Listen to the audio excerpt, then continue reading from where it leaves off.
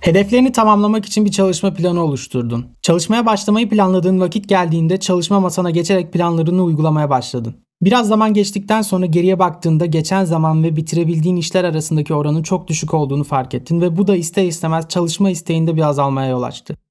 Bu hikaye böyle bitmemeli. Sen de benimle aynı fikirdeysen hemen şimdi bu hikayeye 4 adımda daha verimli bir son yazalım.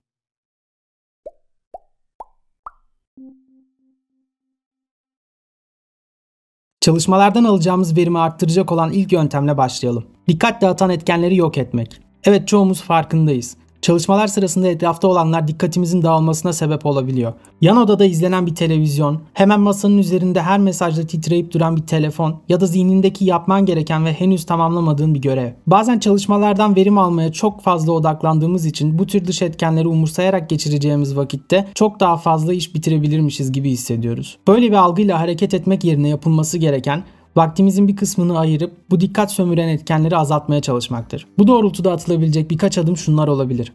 Telefonu sessize almak, yakınlarımızı uyararak önemli durumlar haricinde bizi rahatsız etmemelerini istemek, zihni meşgul eden, konuyla alakalı olmayan düşüncelerden kurtulmak, yakın zamanda ortaya çıkabilecek olan dikkat dağıtıcı etkenleri öngörerek önlemler almak, açlık, susuzluk, soğuk ya da sıcak gibi durumları çözmeden çalışmaya başlamamak, kendi çabalarımızın yetersiz geldiği noktada mümkünse mekan değiştirmek. Herkesin yaşadığı ortam birbirinden farklıdır. Kendi çalışma verimini arttırmak için atabileceğin adımları ancak sen belirleyebilirsin. Bu yüzden bence en kısa zamanda bu konuda kendin için yapabileceklerinin neler olduğu konusunda düşünmeye başlamalısın.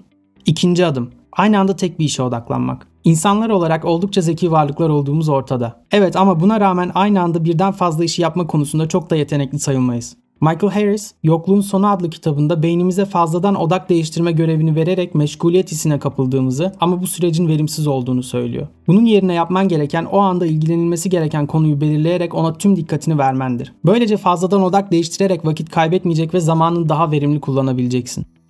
Sıra 3. adımda. Molalardan faydalanmak. Çalışma sırasında verilmesi gereken molalardan ödün verme yoluyla çalışma süresini arttırmayı denemek yaygın bir alışkanlıktır. Bu konuda dikkat etmen gereken çalışma süresinden ziyade çalışmadan alacağın verimin daha önemli olmasıdır.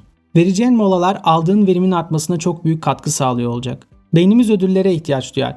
Bir aktiviteyi sonuç almadan uzun süre devam ettirebilmek büyük bir irade ister. Bu konularda bedenine fazla yüklenmek yerine kendine ufak ödüller vererek çalışma motivasyonunu yükseltebilirsin. Ara verdiğin zamanlarda yapmayı sevdiğin şeylere vakit ayırman sıkılmanı engeller. Sana bu noktada çalışma periyotlarını ve molaları düzenleme konusunda sıkça uygulanan Pomodoro tekniğini kullanmanı tavsiye ediyorum. Bu teknik kısaca 25 dakika boyunca odaklanarak çalışıp ardından 5 dakika boyunca dinlenme prensibini temel alan bir tekniktir.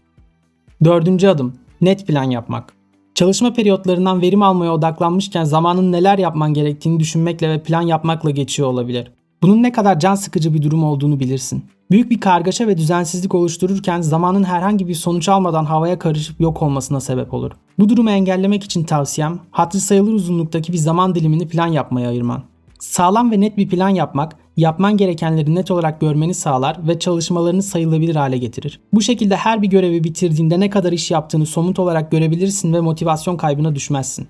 Seni ulaşmak istediğin noktaya götürecek olan sağlıklı planlar ne için çalıştığını sana hatırlatır ve performansının en yüksek seviyeye ulaşmasını sağlar.